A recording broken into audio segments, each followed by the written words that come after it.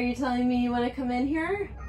Where do you want to sit? Here? The main channel is officially back every Sunday and I'm hoping this year we have a little bit more diverse content just to keep things fun. You know, we need a little bit of a refresh around here. I've been a little MIA from posting on YouTube, but it's not without a good reason. I wish I had all the time and money to help each and every one of you guys in your home, but the next best thing I could do is guide you to become your own space maker and hopefully you could then help your friends and your family do the same. But you're gonna need a guidebook for that. Something that takes you thoroughly through the TSD approach and our realistic steps to decluttering and transforming your home. So while I haven't been posting on YouTube, I did write a book and a course to help you guys become your very own space maker. But I have a very special request to ask you guys. I really want this book to help inspire people to transform their homes and their lives. And I think that it's incredibly powerful whenever you share stories from real people who have been in those situations and who have gotten to the other side. Those are the stories that are truly inspiring and motivating and I would love to share some of the things you guys have shared with me with